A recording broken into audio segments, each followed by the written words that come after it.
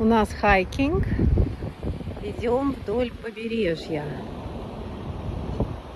Это часть маршрута Ольстер Уэй, пешеходный маршрут. Вот такие вот арочки по дороге. Вода отступила, отлив.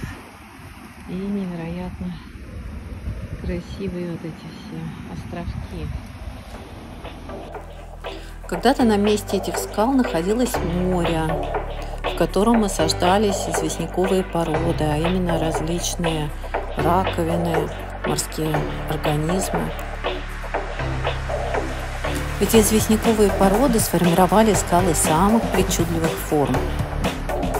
Теперь по этим скалам мирно разгуливают местные овечки. И не только овечки.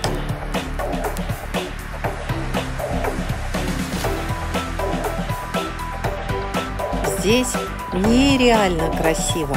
Природа поистине способна создавать неописуемой красоты шедевры.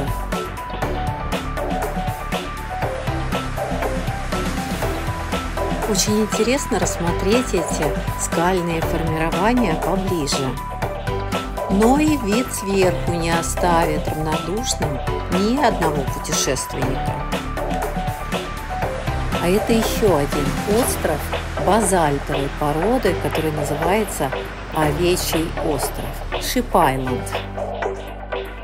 Хотите узнать почему?